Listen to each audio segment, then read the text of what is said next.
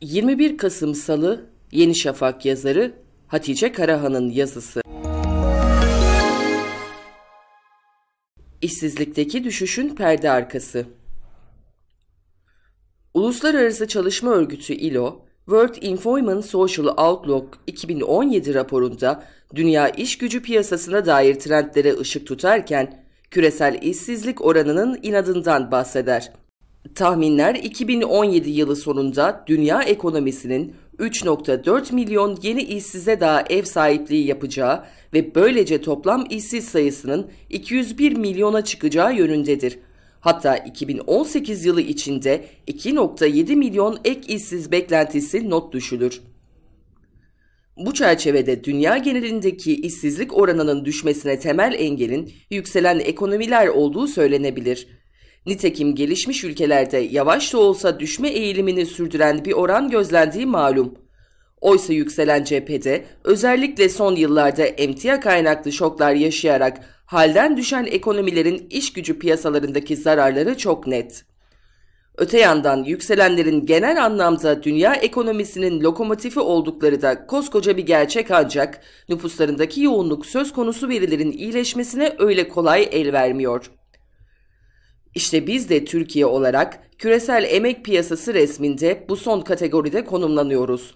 Büyüyen, iş yaratan ancak iş gücüne yetişmekte zorlanan bir ekonomi niteliğindeyiz. Bu doğrultuda kabaca ifade etmek gerekirse, iş gücüne katılımdan daha hızlı istihdam sunmadıkça işsizlik oranını anlamlı bir şekilde düşürmek mümkün olmayacak. Geçen hafta açıklanan Ağustos dönemi iş gücü istatistikleri ise enteresan bir şekilde taze istihdamın taze iş gücüne katılımı geçtiği bir tablo ortaya çıkardı. Nitekim yıllık bazda iş gücü 1 milyon 266 bin kişi artarken istihdam 1 milyon 355 bin kişi artmış görünüyor. Hacimli bir iş gücü büyümesini geçmeyi başarmış bir istihdam performansı doğrusu kolay rastlanacak cinsten değil.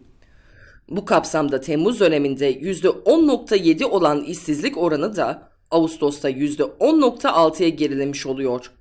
Gözlerimizi mevsimsellikten arındırılmış seriye de çevirelim dersek, oradaki oranda da 0.3 puanlık bir düşüş var.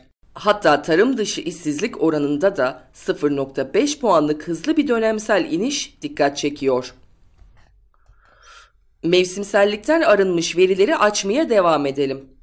Bu doğrultuda tarım dışı istihdama baktığımızda Temmuz'dan Ağustos'a kadar geçen dönemde yılın en yüksek artışının kaydedildiği göze çarpıyor.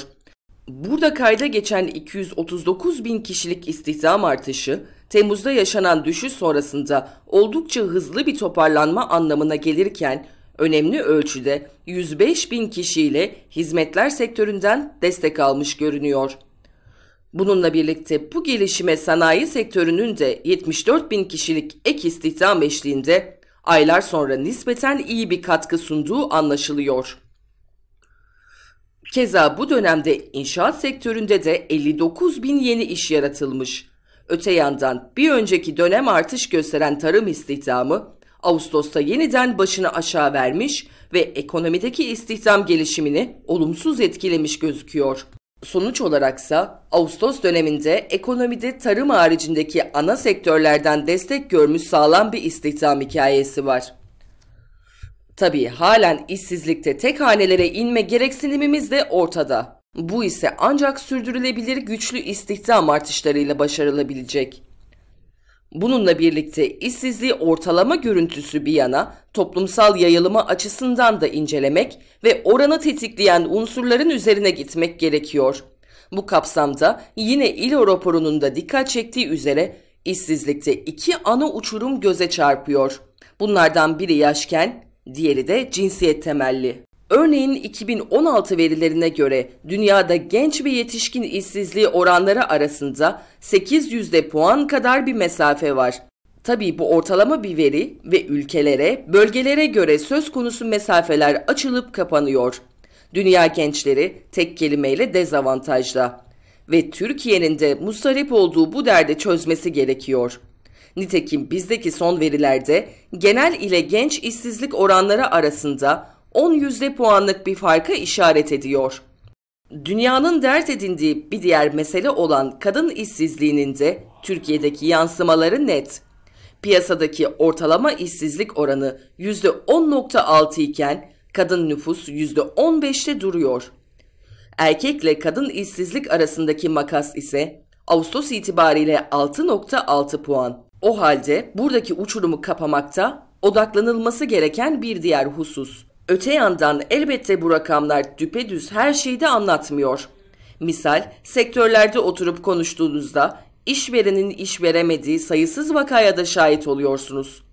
İş beğenmeme, işten kısa sürede ayrılma veya eğitimle iş arasındaki yetenek uyumsuzluğu gibi kişisel ve yapısal sebeplerde resmin olumsuz şekillenmesine çanak tutuyor. Kısacası bir makaleye yine hakkıyla sığamayan işsizlik meselesi, hızlı iş yaratma temposunun yanı sıra çok boyutlu bir bakış açısıyla tedavi edilmeye muhtaç.